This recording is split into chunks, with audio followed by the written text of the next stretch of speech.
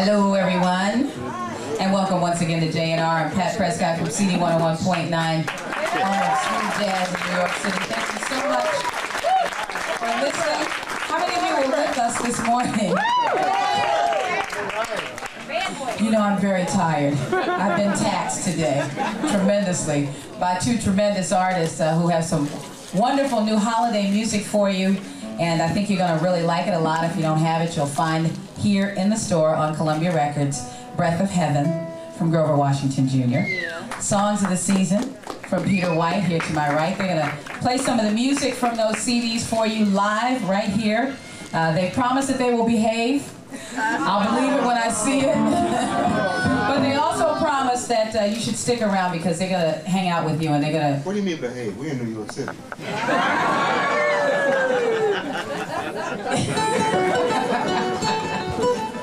He's a naughty boy. They're to sign those CDs for you and talk to you, and they're both just two absolutely lovely people. They love each and every one of you for supporting their music. I guess I got the wrong script for this, huh? but uh, we're going to have some fun now and enjoy the music and have a good time, as you always do at J&R. And please don't let this be your last time. Make sure you return. But give us, a, please, right now, a very, very warm welcome on guitar. Peter White.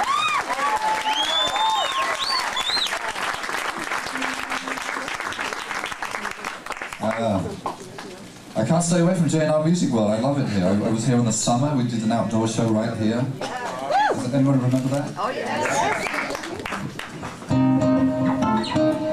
Yes, I say to my man, go. Yeah, ready to play. And uh, I'm very, uh, very happy to have CD 101 playing my music.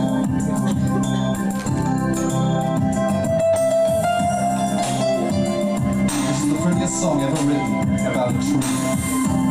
It's called O Tannenbaum.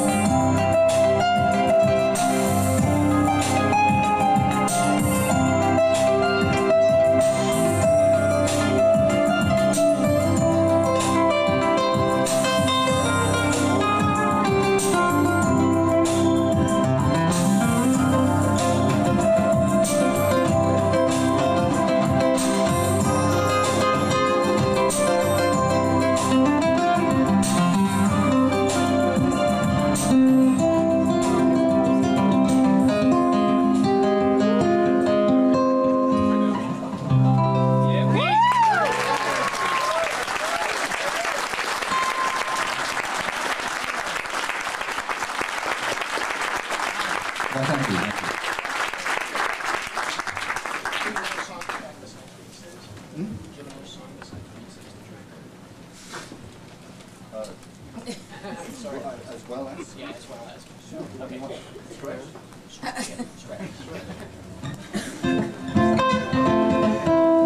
You know what this term means? Stretch. It's a TV thing, right? So when the producer says, and this is the opposite. It's gone on too long, stop it. So they want me to stretch a little bit. I'm, I'm going to do some. Uh, I worked up some songs last year. I did a, tour, a Christmas tour, and I did all Christmas music, and I worked up some songs on the guitar without any accompaniment, and just to see if I could do it. And uh, I'll try a, a medley of some of those Christmas songs. And, uh, see if you recognize some of these. So.